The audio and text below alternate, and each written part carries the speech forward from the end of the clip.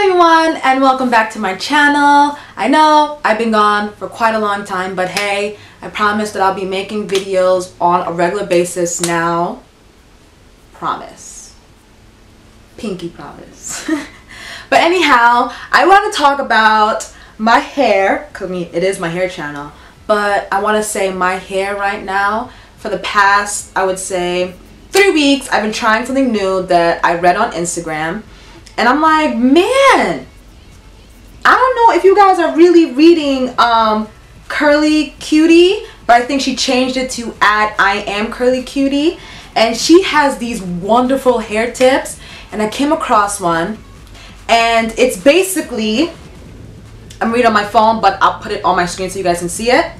Uh, did you know that if you heat up your conditioner first, then apply for at least 30 minutes, it will give you super soft hair. Must try. So when I read that, I was like, don't have to tell me twice. I'm going to try it right now. So I used one uh, Shea Moisture's conditioner, the 10-in-1 renewal, renewal system. I love this conditioner, one of my favorite conditioners um, other than the Tresemme Naturals and the anti-breakage Shea Moisture line, the green one. Love those conditioners.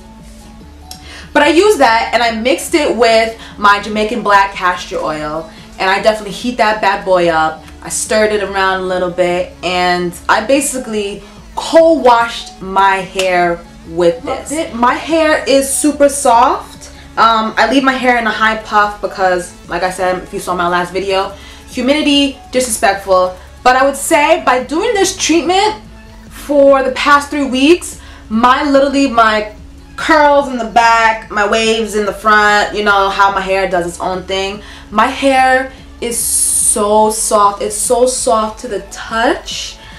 I'm just like totally loving it.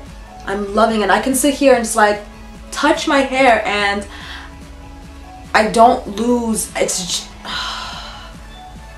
I love it. I love but it. But yeah, I'm telling you guys, everybody has to try it. Try it at least once. You're going to fall in love with it that you're going to always add this to your regimen. I'm just follow me at Just Call Me Shy. Um, take a picture, at me, tag me in anything because I want to see people do it. And then definitely follow her Instagram at I am Curly Cutie and read her hair tips. I'm telling you, it's the best thing that I'm giving you guys and myself.